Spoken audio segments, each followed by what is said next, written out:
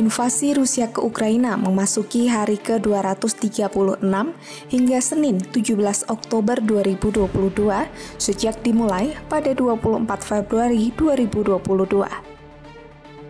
Konflik ini berlanjut dengan jet tempur Rusia yang jatuh saat latihan hingga Kiev diserbu drone Rusia. Berikut rangkumannya.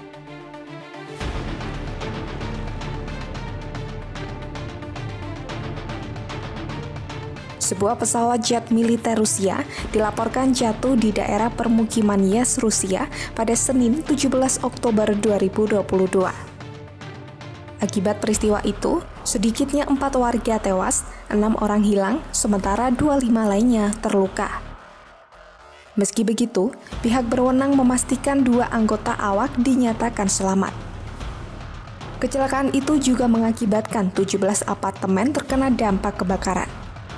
Sementara menurut hasil penyelidikan sementara, kecelakaan itu terjadi karena pesawат mengalami kegagalan mesin. Главным военно-следственным управлением Следственного комитета России по факту крушения самолета Су-34 в городе Ейске Краснодарского края возбуждено уголовное дело.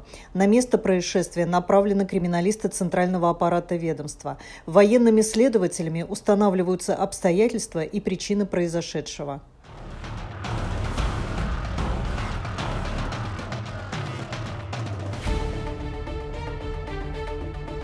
Korban tewas personil militer Rusia di Ukraina dilaporkan terus meningkat.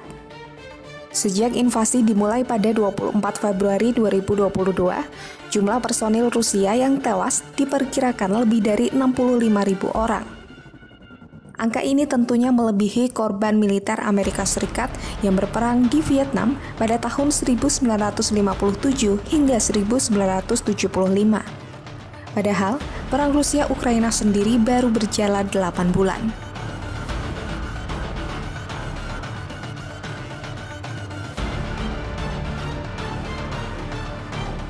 Sebanyak 9.000 tentara Rusia telah tiba di Belarus pada Senin 17 Oktober 2022.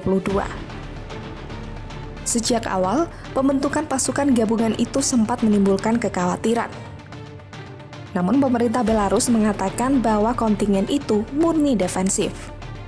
Pengerahan tentara Rusia ke Belarus itu disebut sebagai bagian dari pengelompokan regional pasukan untuk melindungi perbatasannya.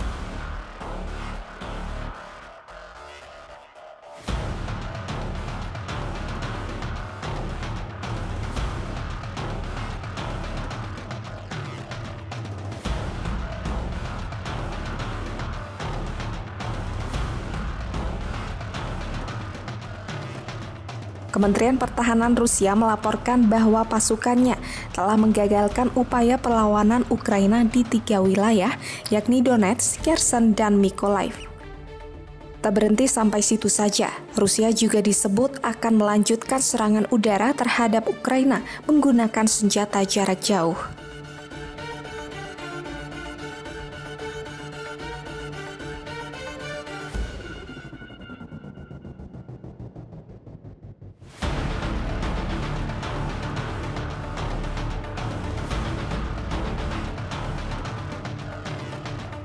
Rusia dilaporkan kembali melakukan serangan ke ibu kota Ukraina Kiev pada Senin 17 Oktober 2022.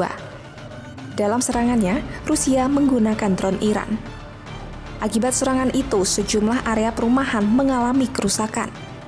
Selain itu, pemadaman listrik juga terjadi di daerah sekitar kota Kiev tak lama setelah kejadian itu.